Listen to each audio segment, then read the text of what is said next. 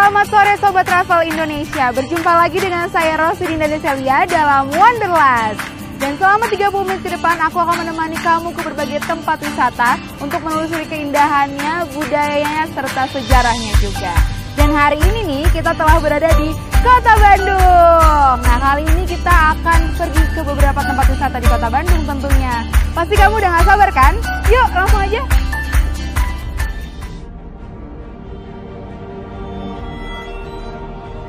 Bismillahirrahmanirrahim. Merdeka! Saudara-saudara, rakyat jelata di seluruh Indonesia, terutama saudara-saudara penduduk kota Surabaya. Kita semuanya telah mengetahui bahwa hari ini tentara Inggris telah menyebarkan pamflet-pamflet yang memberikan suatu ancaman kepada kita semua.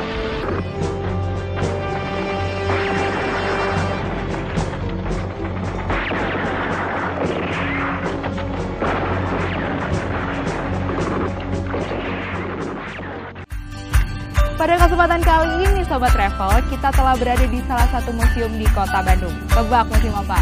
Museum Mandala Wangsit Siliwangi dalam rangka memperingati Hari Pahlawan 10 November. Nah, selain kita mengenang nih peristiwa di Surabaya tanggal 10 November, kita juga mengenang perjuangan para pahlawan khususnya di Jawa Barat untuk mengusir penjajah Belanda dari tanah Sunda.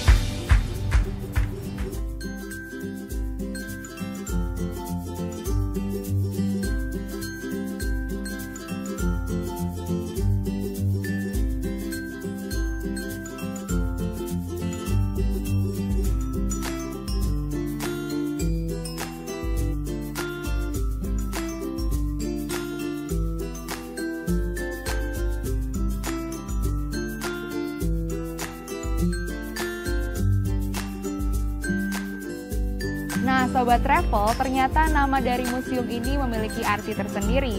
Kata Mandala Wangsit bermakna tempat untuk menyimpan wasiat, amanah, dan petuah. Sedangkan kata Siliwangi berasal dari nama raja dari kerajaan Pajajaran yaitu Prabu Siliwangi. Dan nama jalannya nih yaitu Jalan Lembong merupakan nama dari salah satu prajurit Siliwangi yaitu Letnan Kolonel Adolf Gustav Lembong. Dari namanya aja kita udah tahu nih kalau museum ini merupakan tempat peninggalan sejarah di Jawa Barat. Museum Mandala Wangsit Siliwangi dibangun sejak zaman kolonialisme Belanda di Indonesia, tepatnya tahun 1910 hingga 1915. Tujuan pembangunannya sendiri adalah awalnya diperuntukkan sebagai tempat kediaman para perwira tinggi Belanda, namun berubah fungsi setelah tentara Indonesia merebut dan dijadikan sebagai markas divisi Siliwangi. Peranan Siliwangi memang sungguh sangat besar sekali bagi bangsa ini. Eh, bahkan satu-satunya Kodam tiga Kodam yang mendapatkan penghargaan dari presiden adalah Kodam tiga Siliwangi eh, dengan nama Sam Karya Nugraha Kepresidenan itu eh, kiprah Kodam Siliwangi dalam berbagai operasi keamanan dalam negeri eh, mengadakan eh, atau mengatasi pemberontakan-pemberontakan yang ada di Nusantara ini. Museum Mandala Wangsit Siliwangi merupakan sebuah museum yang menampilkan berbagai koleksi senjata yang berada di kota Bandung.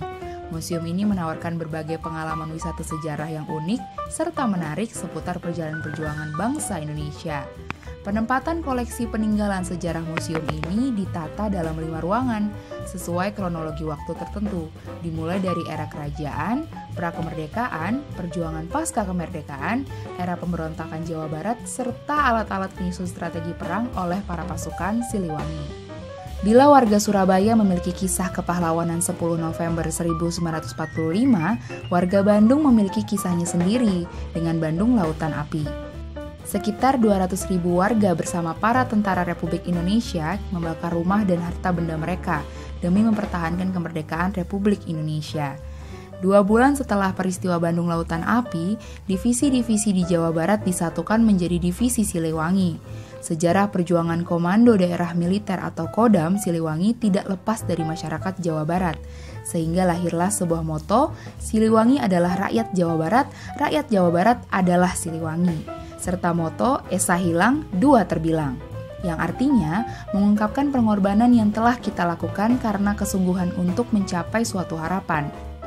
Esa yang dimaksud adalah suatu pengorbanan terbesar yang kita kerahkan, namun kita mendapatkan dua atau hasil yang kita inginkan. Peribahasa ini mengingatkan kita kepada siapa pun untuk tidak separuh-separuh dalam melakukan sesuatu, agar kita mendapatkan hasil yang maksimal pula. Diceritakan mengenai kiprah ketika ketika terjadi 10 November kan? 10 November di Surabaya. Uh, dan Bung Tomo waktu itu sedang memberikan semangat lewat corong itu kan? Corong radio. Bahwa seluruh rakyat Indonesia harus ikut berjuang dengan kata Allah Akbar dengan semangatnya. Nah, kemudian corong tersebut di rebut lah sama orang Bandung. Nah, ternyata maksud si orang yang merebut itu supaya orang Bandung khususnya orang Jawa Barat umumnya itu pergi ke Surabaya untuk membantu untuk membantu bahwa eh, perjuangan arek-arek Surabaya itu. Tetapi orang Bandung khususnya itu realita. Kalaupun kita masyarakat Bandung ke Bandung orang masyarakat Bandung ke sana itu tetap tidak akan apa apa sih yang harus dibawa? Udah capek datang ke sana harus berperang jadi realita. Maka ketika terjadi Bandung Lautan Api di Bandung Lautan Api inilah saatnya kita untuk menggantikan tidak ikut uh, perjuangan di Surabaya itu. Yaitu membakar rumah sendiri gedung sendiri dibakar. Yang pada akhirnya dengan adanya Bandung Lautan Api pengakuan dunia internasional secara de facto Nah, sobat travel, kalau kamu mau ke sini, kamu bisa datang setiap hari kecuali hari Minggu karena buka pukul 8 dan Senin sampai Kamis tutup pukul 1, hari Jumat tutup pukul 10 dan hari Sabtunya tutup pukul 12. Dan kamu cuma cukup membayar Rp2.500, kamu udah bisa melihat dan mempelajari berbagai peninggalan sejarah pada zaman penjajahan Belanda. Dan kamu juga bisa nih menyumbangkan sebagian uang kamu untuk biaya operasional museum ini sehingga fasilitasnya tetap terjaga dan terus terawat. Eh Sobat Travel, gimana tadi kita udah jalan-jalan di Museum Mandala Wangsit Siliwangi. Kita udah lihat berbagai peninggalan sejarah, tentunya di zaman penjajahan Belanda dan di kota Bandung. Dan ini mengingatkan kita kepada perjuangan pahlawan Indonesia yang telah memperjuangkan kemerdekaan Indonesia hingga saat ini. Sekarang kita anaknya ke mana ya? Tentunya jalan-jalan lagi di berbagai destinasi wisata di kota Bandung yang gak kalah seru dari ini. Tapi tunggu dulu, karena ada pesan-pesan berikut ini. Tetap di Wanderlust.